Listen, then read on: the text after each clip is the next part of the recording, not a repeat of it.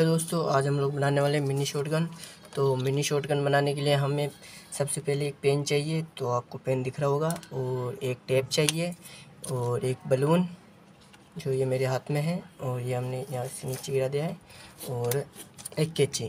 तो आइए अब हम मिनी शॉट, मिनी शॉटगन बनाते हैं। तो पहले हम इसे खोल लेते हैं तो आपको खोल के दिखा देते हैं। तो ये हमने इसे खोल लिया है, इस पेन को भी बाहर निकाल लिया है, और इसके पीछे वाले हिस्से को भी बाहर निकाल लेते हैं।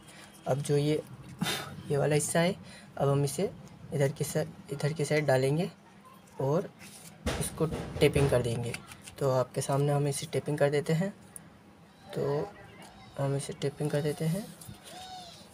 तो हमने इसे अच्छे तरीके से टेपिंग कर दिया है। तो आपको दिख रहा होगा, ये हमने इसको टेपिंग कर लिया है और इसको काट लिया है। तो हमारा जो मिनी शॉट गन है, वो तैयार हो चुकी है, इसको हम ऐसे खींचेंगे तो ये हमारा पेन उधर की साइड फिक जाएगा। तो अब हम हमारे इस, इसको शुरू कर, एक बार ट्राई कर लेते हैं। तो अब हमें इससे एक बार ट्राई कर लेते हैं। तो अब हम इसे ट्राई करके दिखाते हैं। तो ये देखिए, दिखा, अरे यार, ये थोड़ा इस साइड में चला गया। एक बार फिर से इसे हम ट्राई करके दिखाते हैं आपको।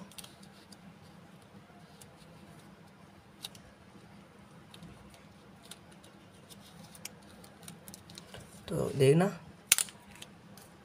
तो ये अच्छी तरीके से वर्क कर रहा है।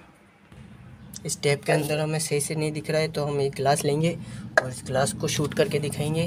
तो हम हमारे इस को इसके अंदर ले लेते हैं और आपको दिखाते हैं। तो देखा आपने, ये एकदम से हिल गई, एक हमारा निशाना सही से नहीं लगा है। तो एक बार फिर से हम इसे ट्राई करेंगे और आपको निशाना लगा के दिखाएँगे।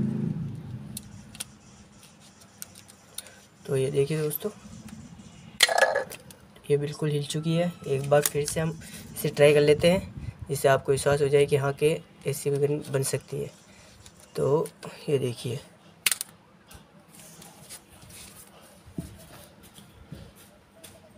आप चाहिए तो आप भी इसे घर पे बना सकते हैं। अब तुम लोग गलती से अगर नए हो तो सब्सक्राइब करो। वो जो लाल वाला बटन है, उस पर अपने जीजा जी फेंक के मारो या फूफा जी। मुझे नहीं पता, बस क्लिक हो जाना चाहिए। अब मैं भी जा रहा हूँ